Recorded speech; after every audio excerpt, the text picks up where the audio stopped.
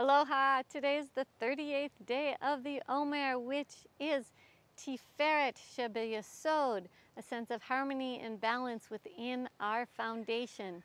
Blessed is the source of life that has given us this sacred instruction to count the Omer. Today is five weeks and three days of the Omer.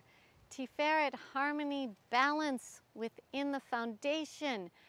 Let's move this center of our body uh, with some circles to start with.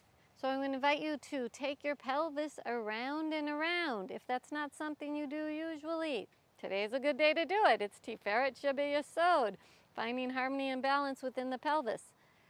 Trying to get a sense of a circle all the way around. And then go the other direction.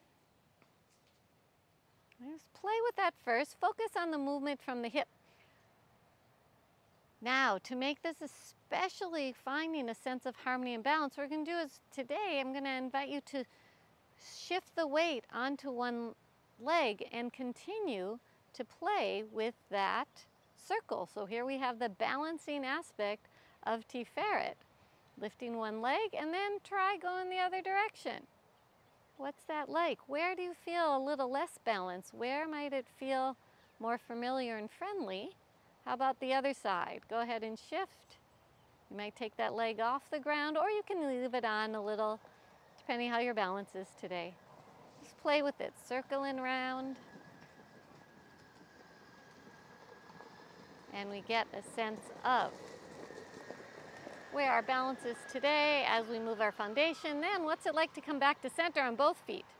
Maybe you go a little faster.